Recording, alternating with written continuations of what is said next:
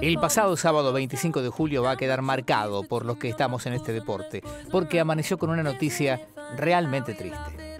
A los 79 años se fue de viaje una de las personas más queridas del ambiente del básquetbol, el querido y entrañable Roberto Turco Bartanian. Sí, la frialdad de un mensaje de WhatsApp para avisarnos y la tristeza por la noticia nos golpeó duramente. El turco, que venía con algunos problemas de salud del último tiempo, fue, es y será más que el utilero histórico de la selección argentina.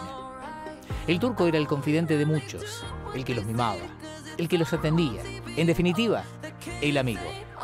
Protagonista importante de momentos históricos de la generación dorada junto a varios de los mejores jugadores del básquet nacional.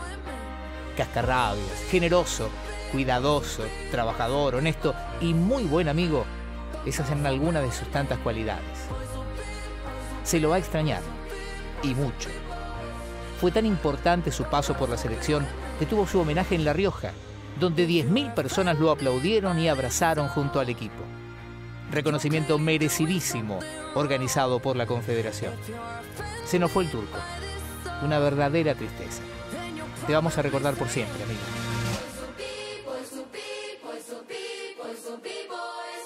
Agradezco a uno contra uno esta posibilidad de enviar de parte de toda la familia Muratore nuestras condolencias por el deceso de un gran amigo y mejor profesional que dejó un verdadero sello en las selecciones argentinas de básquetbol, hoy reemplazado por su hijo Facundo.